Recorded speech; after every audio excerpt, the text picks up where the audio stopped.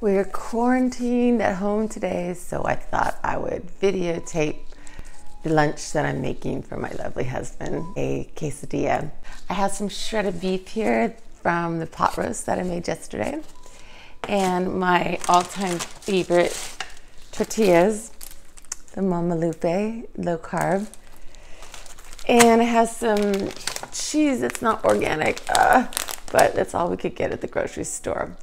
So all you do is put your pan on medium high and throw your tortilla in here. Put your oil in there. I use avocado oil.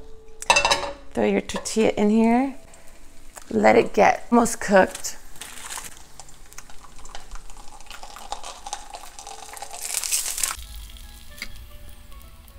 Starts to bubble like this, it means it's almost cooked. I figure I better warm my meat up, so I'll just put it in the pan next to it. It's cold from being in the fridge. Starting to cook, so I'll put it on here. Put the meat in. And now that the meat's warm, the cheese will melt. So I'll put my cheese. I always recommend the Trader Joe's cheese that are from New Zealand and they're all organic. They have like a really nice sharp cheddar. That's what I usually use. I would typically use fresh jalapenos, but they weren't at the store either. so I will use these canned fire roasted green chilies from Trader Joe's. See, it's good to have some canned food sometimes. You never know. And you might be quarantined in your house. So I'll put like half a can on here. And now for the fun part, I have to flip it over. Ah, it's always the hard part.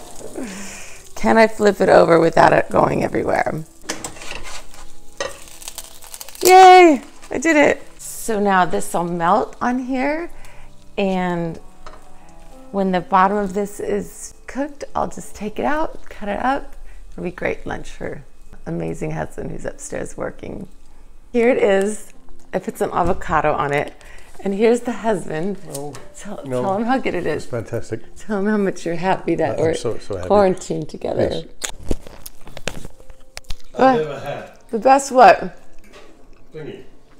Lunch I've ever had. Quesadilla. Quesadilla, there you go. Best beef quesadilla you ever had. Best beef, yes.